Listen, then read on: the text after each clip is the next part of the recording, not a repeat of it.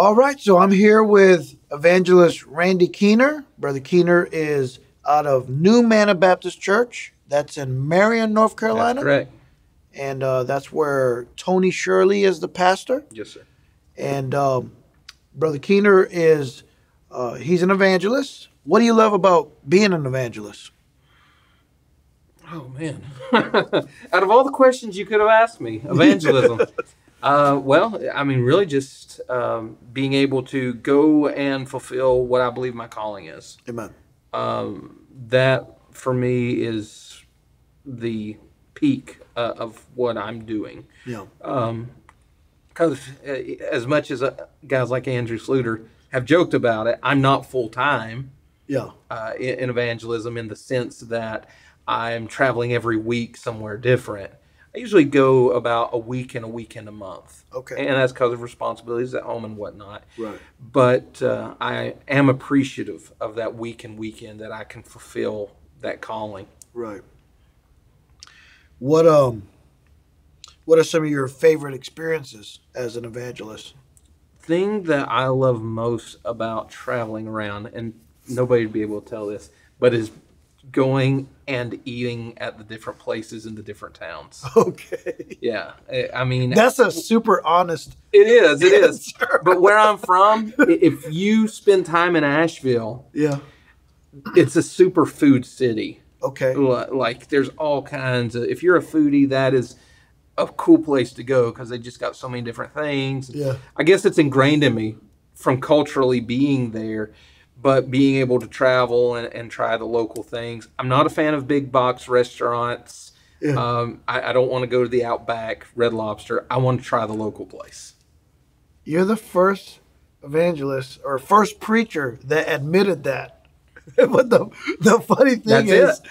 I love that as well. I don't know if I would have said that that was my favorite thing, but it's definitely one of my favorite things. When I Mm-hmm. go to different countries or different uh, different places in the U.S., I want to try what's the what's the thing here. Absolutely. Yeah. As a matter of fact, though, it's gotten me in trouble for it. The sickest that I've ever been as a result of this was in Mexico. Oh, really? Um, I, I mentioned Andrew a moment ago. He and I had some bad tacos, oh no. street tacos. Okay. Yeah, them in this looks like a, a tin can on the side of the road. Yeah. And I forgot what it was, but anyway, nobody else got any. I mean, they didn't stand a chance. Andrew and I had the meat gone; it was devoured. Uh, But he got sick, and to be as sensitive to your viewers as possible, he was projectile vomiting in the street that night. oh wow. it was bad, man. Oh man. The problem with me though is I didn't throw up. So all that stayed inside. Oh no. The next day when I woke up, Caleb Hickam, I don't know if you know Caleb Hickam. I know of him. Okay. Yeah. He was with us on this trip. That next morning, I was literally hallucinating. they came in my room and they were saying, Hey, we got to go. We got to get to this other town. Andrew was so sick he couldn't travel. Okay. And we had an hour to get back to him. And when they came and got me, um, one of the preachers there, I was trying to speak to him. I thought I was speaking Spanish. yeah. And so I was just kind of mumbling. In my head, I, I knew what I was saying, and I- I'm speaking to him in Spanish. and uh, he goes to get his wife because she spoke English. He thought I was speaking English. He goes and gets her, and she comes back. She's like, he's not speaking English either. I, I, we don't know what he's saying. But uh, thank the Lord, it didn't last that long. um, you know, uh, Mexicans, man, they, they take advantage of every part of the animal. And so, uh, one preacher friend of mine took me. He said, "You ever had eyeball tacos? Uh, tacos de ojito Oh, we, is what they're called." And I now I'm the kind I'll try anything. I loved it. It was awesome. Yeah. I think it's my second favorite kind of taco. It- You know what I didn't like was um, cheek. you know what? I was about to say that's my first favorite kind of taco. Really? You didn't like it? No, I didn't- love the There was something about it that I did not like, but it's extremely rare for me to find something I don't like. You'll try anything. I will try How about- just about anything. How about the tongue? Uh, yeah, I've had I've Okay. had tongue. Yeah, that's real That's good. good. hmm Yeah. Oh man, I don't know if I ate anything in Mexico that I didn't like. That's that's my favorite. The only food that I just it's an absolute no for me is bananas. You don't like bananas? I don't like bananas. You wouldn't all. like Puerto Rico then. Okay. We love bananas in Puerto I, Rico. I do not. but I bet if you tried bananas in Puerto Rico, you would like it. So that's what they told me in the Philippines, Mhm. and they were wrong. Okay. But you know, they got the little. uh, They're Yeah. not actually bananas. I don't think they're plantains. Well, yeah, that, there's that. Okay. But in Puerto Rico, there's different kinds. As a matter of fact, we have a banana that they're real small. They taste like apple. Really? It's the consistency of a banana. Does it smell like a banana? It smells like a banana. Well, the smell really gets to me. Oh, okay. Yeah. So I, I, I would try it. I would at least try. it. Those are my favorite. They, they taste just like apple flavor, but a, in a shape and form of a banana. Probably the only food that I've tried other than bananas that I just didn't like. Um, that I went into wondering if I would balut. Balut. Yeah. I did not like balut. Yeah. But I had cheering room of Filipinos, so I had to eat it. Yeah. You know, it's, it's one I of love those. Filipino It was an honor thing, you know. Yeah, sure, So- sure. Okay, well that that took us in a direction I did not expect. I was expecting a spiritual answer. Oh, sorry. And brother Randy, Randy is the first. he's the first preacher that actually gave an honest answer. But we, we get on the topic of food, we'll be here. That'll be the whole Oh, I, yeah. We, I could literally talk about it all night long. Uh, well, uh, what about some crazy experiences as an evangelist? What's some wild stuff you've experienced as an evangelist? So, a, a few of the things that uh, I'm trying to sift through some things because there's also some people, you know, I wouldn't want to hurt their feelings. Right. You know what I'm saying? I understand. Um, So uh, let me take you to some of, of my street evangelism stuff, um, because me personally, my perception of evangelism isn't as much the itinerant church to church preaching, Sure. as it is doing the, the personal work on the streets, street preaching. That's biblical evangelism. Yeah, exactly. Right. And so some of the things that I experienced there, one la- night uh, we had a lady, we gave her a gospel track, and she was so furious, she ate the track. she tore it up, she ate it, swallowed it, and, and she was like, That's what I think of what you're doing. and uh, she's just going on tangent, and she's like, I, I can't stand Jehovah's Witnesses. And I was like, Ma'am, I'm Baptist. Yeah. And she's like, "Oh, I'm sorry. I I I didn't mean to act like that in that case." And I think like she's just normal now. Like you literally just ate that gospel track. Like there was nothing normal that just happened. So yeah, that's like high ranking. Yeah. Uh, yeah. I've, I've, that's not the first time I've heard of. I've never seen it in all my time doing street evangelism, but I've heard of uh, my former pastor, Brother Baker, tells a story about passing out tracts to people in the prison. And he said the same thing. He said someone took the track and just stuffed it right in his, in his mouth. Sometimes people are, are hungry. Yes. there was a fella downtown Asheville. I used to preach in this spot called Pritchard Park. Pritchard Park, it, it's an old park. It's named after this Pritchard individual. But anyway, I, I'm preaching there, and this guy walks up, and, and we actually kind of struck up a friendship just from my time in going there. But he had long, shaggy hair, had a, a long purple cape that he'd wear, had a bongo drum that he kept under the cape, and he'd smoke cigarettes and stuff, had a big old staff, and it, it had all these names of God carved into this staff, had like this big old crystal on top. And he just Wow. walked, he called himself the prophet. Okay. And what's funny is the grasp on dispensationalism this man had, even though it was very messed up. He he is speaking to me one day and he says, "My brother, you're called to preach the gospel of the grace of God, whereas I'm here to announce the coming kingdom of God. That's the gospel of the kingdom." And I was like, "Well, that's that's interesting. You would know that." Okay. But anyway, I'm preaching in Pritchard Park, and while I'm preaching, this group of lesbians comes by. Like it's like all of these um, very masculine acting women. Okay. Okay, and, and it was a big group, and they're they stop, they hear what I'm saying. You know, I'm not calling them out for stuff and yelling at them. You know how some Right, guys right. will do. I'm just preaching. Sure. You know, just giving the gospel. Amen. But they're cussing, they're yelling, they're screaming. They're like coming and starting to get in my face, oh, and oh boy. out of nowhere, the prophet shows up.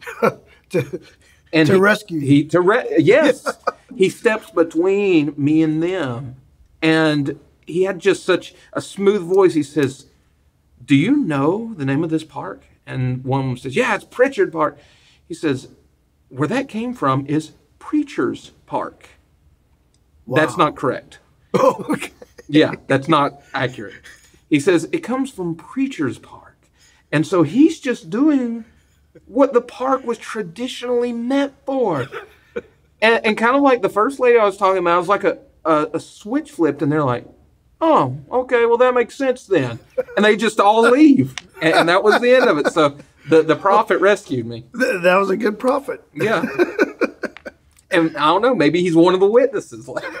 he's probably going to have to get off those cigarettes. yeah, he might need to do that. Yeah, that'll help him out. Um, what are some uh, hardships in the life of an evangelist that you deal with? So I, I'll say on this end of my traveling and whatnot, um, I'm extremely blessed. I've got a very good job. Um, I, I'm in financial services, and so that allows me to schedule time off to do what I do. That's why I was able to be here this week. And there's a lot of churches that I'm able to go to that I'm not saying other guys wouldn't, but it would present hardship. I was at a church earlier this year, and the church, I'm not complaining if they ever watch it. God knows I'm not complaining. But it's a very small church, very small congregation. Sure. And uh, you know, I go out there. We're having small meals, you know, every every time service is over, and they cut me a check for it was like two hundred and fifty dollars at the end of the week. Because I have my job, didn't even matter. Doesn't As a matter of fact, if they gave me nothing, it, it wouldn't have even mattered, and I would be truly grateful for the opportunity to go. Amen. Whereas a lot of other brothers who, who are in evangelism on the full time s- scale of things, it would be very trying Sure. to go to a meeting and do that. So, you know, that's the only thing that had caused me a little bit of difficulty in the past because you know what it's like as a missionary going around. Um, it's not about the money, but if you don't have the money, you don't feed your family, you, you don't pay your bills.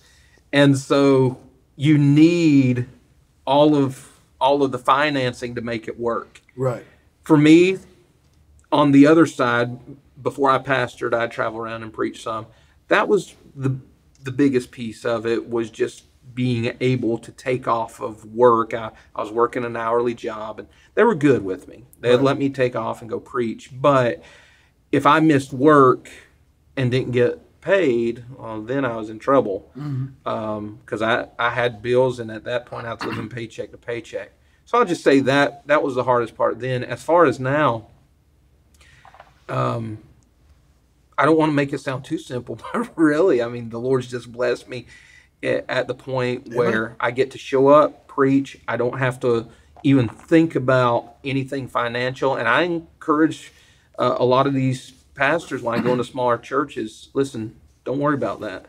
If Yeah. wh- whatever you give me, that that's between you and the Lord, but that is not what this is about. And if you can't give anything, don't worry about it. Yeah. So, That's what I love about doing these interviews. I, I love hearing the different stories of, of the different preachers and different folks that are serving the Lord uh, in in the different ministries God's called them to, and everyone has a different situation, yeah. and it's just um, it, it's enjoyable to hear how the Lord uh, sustains all of us in, in, in His own way, and so praise the Lord. Now, let's shift gears here a little bit. you have a degree Mhm. from Institute for Creation Research. now that's interesting to me. That's uh, I mean, you, so you uh, sort of specialize with that degree in apologetics and Yes, that's what the the degree is. It's in um, applied apologetics, and that's why I went to ICR. Uh, they're they're not where I'm at on a lot of issues. Sure. you know, in, in particular the King James Bible. right, But the reason that I wanted to study there wasn't necessarily even for the Bible education. It was for the apologetics, the science, the things that they're doing of that nature. And so uh, I was extremely blessed in having that opportunity, and I'm actually in their master's program right now. Nice. Yes, so I'm working through that. I'll be writing my thesis, Lord willing, next year. Okay. But uh, that's that is where my degree is from. As we spoke earlier, I- I've been a reader my whole life, mm-hmm. and so throughout my years as a reader, I've had a lot of good books placed in, in my way. And I remember asking my pastor as a young preacher if he would counsel me to go to Bible college or, or to Bible Institute or whatever. And he said, you know, with the way that you come to church, and he was a good teacher, he said, you're faithful to church, you read, you study for yourself. If you feel like it's necessary, maybe for the endorsement, the degree, that's up to you. But as long as you stay consistent in your study and reading, um, I, I wouldn't even say it's a necessity. Right. So that's that's kind of what happened for me. I, I did get an associate's degree at a small um, Bible college, but I didn't feel the need to pursue that anymore. So, with your learning in apologetics, surely you have used it in dealing with with folks. Mm-hmm. And so, what are some stories you can share just uh, that stand out to you dealing with skeptics? So this wasn't a strong night of me using the apologetics, but it's worth mentioning. Okay. Um, we used to go downtown Asheville every Saturday night. We did that for several years, and it didn't matter what the weather was like. We would go down on Saturday night. We had a route that we walked. It was the same route every week, and we would hand out gospel tracts. And usually, it wasn't about the conversation. It was just a saturation thing. A- As many tracks as we could get out as quickly as possible. And I mean, we would walk up there, each of us carrying stacks like this, mm-hmm. and be empty handed by the end of the night. Wow. So, honestly, that's really where the bulk of my apologetics training came from Okay. because you run into everybody in, in Asheville. Right. I mean, you got your run of the mill atheists, your agnostics, your Buddhists, your your Catholics, and everything you can imagine is in Asheville. Mm. And so, one night we're in downtown Asheville, and they had set up the atheists and agnostics in the city put up this debate tent, and they had quotes from different thinkers throughout history. And so, I just felt drawn. Yeah. I get under there, and the conversation is already shifted to is there a God? And that's what everybody's discussing. Usually we just took the men because it could be a pretty rough place downtown. But for whatever particular reason, there was uh, some men who had brought their wives along with them. And I remember the way this thing was operating, you took your seat, and if you were set down, you were expected to say something when it came to you. Mm-hmm. And it would rotate around the tent like this. You'd speak your piece to the next guy, and that way everybody kind of got a turn. And one guy said, How do we know that a giant bull didn't create the universe? And it gets to this young lady. She is just crying her eyes out at this point. You know, I'm sure never seen anything like this. I- I mean, that level of hatred towards God was off the charts Wow. in, in a very spiritual sense. Yeah. But it gets to her, and her response to how we know a bull didn't create the universe is because a bull doesn't have hands. And she just ran off into the night crying. I, I felt so bad for her. But uh, the apologetics that I studied, the, the strongest piece that I took away from ICR is their method of apologetics is not talking about whalebones in the Sahara Desert, which we could. That exists. Seashells on the top of Mount Everest. Yeah. That's real. We Yep. can talk about that. Yep. But the style of apologetics that I walked away is called worldview apologetics. So we're not directly, uh, we're, we're not attacking the symptoms. We're attacking the source of the problem, and the source of the problem is the worldview. Right. And the only worldview that stays consistent within itself is the Christian worldview. So that's the whole perspective of apologetics. So, for example, if we're talking about an atheistic worldview, it blows itself up when, especially, you move into areas of morality. Because an atheistic worldview does not have a demand for morality. Right. As a matter of fact, it has to borrow from a Christian worldview to bridge that gap to have a functioning society. Yeah. So you see what I mean, how it blows right. itself up. Right. Whereas the Christian worldview remains entirely consistent from beginning to end. How do you deal with it when they bring up when they bring up, you know, what about evil in the world? Why do bad things happen to good people? How do you approach that argument? That's a very one of the most probably the most common one. It's extremely common. Um, one of the most well-known agnostics in America teaches in my home state, teaches New Testament at the University of North Carolina. His name's Bart Ehrman. Mm-hmm. And Bart Ehrman attributes his quote unquote deconversion to that thought if there's an all loving, all powerful, all knowing God, how could he allow the evils to come into the world that he does? And the answer is so simple. And I don't mean to oversimplify it, but it is simple. God makes it clear to us that evil is present in the world because man introduced it. Amen. Death came upon all men because yep. man sinned. Right. And so all the evils that we experience, whether it's the classic events they try and bring up tornadoes, hurricanes, childhood cancers all trace back to man introducing sin into the world mm-hmm. and death passing upon all men. Right. So when when we're dealing with somebody, here's one thing that people have to remember in apologetics.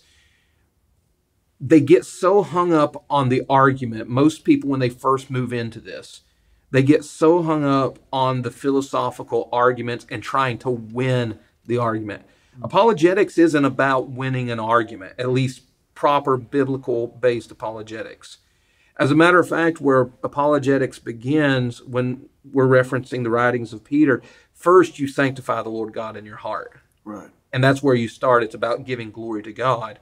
And then you're ready to give an answer to those who ask of the hope that's within you.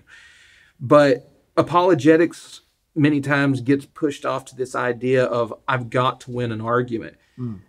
We had conversations this week about people who were in difficult spots doing arguments or debates, if you will, mm. um, and, and, struggled as they were doing those particular discussions and, and debates. That doesn't negate the truth. Right. So winning the argument isn't whether something's true or not. Mm-hmm. And a lot of times people put that that whole entity in their court that if I if I win this argument, it's going to prove that mm-hmm. this is true. Mm-hmm. Well, no, it's true because it's true because right. of the nature of the thing. Right. I could lose every argument uh, on on the gospel from now till doomsday, and the gospel still be pertinent for salvation. Amen. So that's where we have to start. That we're first doing this to honor and glorify God, but to the best of our ability, creating good answers sure. for those who would ask of us. Right. So I know you you like to study history, and you know how the fundamentalist movement came about. Was this was uh, the way that churches were trying to combat the apostasy that modernists were bringing into the churches because there was a strong desire for Christians to try to reconcile science mm-hmm. with the Bible. So, um, how much with you that, that this is your subject that you like to study apologetics? How much should science be reconciled with the Bible, or should it not be reconciled at all? How do you approach that attempt of people trying to reconcile science with the Bible? I'll start off with a quote from my pastor from last Sunday morning he was preaching somewhat along these lines, and he said, quote, he doesn't care if they unearth a whole family of cavemen sitting at a dinner table and say they're a billion years old. Yeah. It won't change his perspective one iota. Right. And I'm I'm in that same camp. Um, throughout history, there were certain tumultuous points where specifically when evolution was becoming a real stronghold um, as it was being propagated this idea of not needing a creator um, that all things just came about of their own. Um, there was confusion and concern within Christianity to try to to create means to justify that. Mm-hmm. And uh, of course, there's things like the um, the long day theory that these aren't actual days in, in, Genesis one and two; that they're actually gigantic periods of time. Mm-hmm. Um, in my opinion, I, I, have to say this real quietly. The gap theory. Yeah, yeah. you know that uh, there's some evidence that it may have been a thing before this time period mm-hmm. uh, in the 1800s as this is becoming a reality. But really, it had a prime stronghold then because Christians felt it was necessary to have some means to create these long ages mm-hmm. to combat um, evolution. And, and so, what I would say, me personally, is there are things that we can't explain. Mm-hmm. There are things we don't understand. Um, one of the things that Christianity on the science plane struggles with explaining is starlight mm. because it's so distant. If light travels um, X amount of speed, you know, speed of light, then it should take millions, if not billions, of years for that light to reach us. Mm-hmm and yet we can see it. Yeah. And so there's arguments, we call them rescue devices. Um, there's arguments for why we can see that distant starlight, one of which is that God created things with the appearance of age, and He created those stars for a purpose. Ultimately, Psalm 19 to bring glory to Him, Amen. that we can look up and say, hey, there has to be somebody who did this. You know, the heavens declare the glory of God, the firmament showeth His handiwork. Amen. But the same thing's true on the other side. So, for example, comets. If the universe were billions of years old, there should be no comets in the universe. And so, what they have done on the evolution side is they've created what's called the Oort cloud. Jan Oort devised this theory, and the Oort cloud is what produces comets. Now, nobody's ever seen an Oort cloud, nobody's ever felt one, Nobody's ever observed one. It's total theory and speculation. But it's because there are comets, so there must be something producing these comets. So do you see the, the issue? Yeah. Regardless of which side you're on, there's always going to be something you can't explain. Mm-hmm. And the reason why is we're all pulling from the same pile of evidence. If I have this big pile of dinosaur bones and I am a creationist, I'm going to pick this up and say that, you know, this is no more than 6,000 years old and God created it on day six, this, this being, this animal. Whereas the evolutionist is going to pick up that same bone and say this bone is 65 million years old and we're going to date it with all of our methods and techniques to prove that it's 65 million years old. It, it's the same pile of evidence. Mm-hmm again, just backtracking a little bit, that's why we go to the, the worldview. Because worldview steps outside of this pile of bones that we're looking at and actually deals with the lenses that we're looking at it right, with. Right. So, how far do I feel like I need to go with science? I, I don't feel like it's necessary to go out of my way at all. As a matter of fact, biblically, and that's where all of our arguments begin, Right. We have the understanding that God cautions us about science falsely called yep. and vain philosophies. Right. So we have a biblical warning to be aware of those things. So that's right. that's where we start as believers. And uh, you spoke to this earlier, but uh, I like I like where you're going with when you say that you take them all the way to their core, their their worldview when you can when you argue things from that plane, you can take them to the gospel.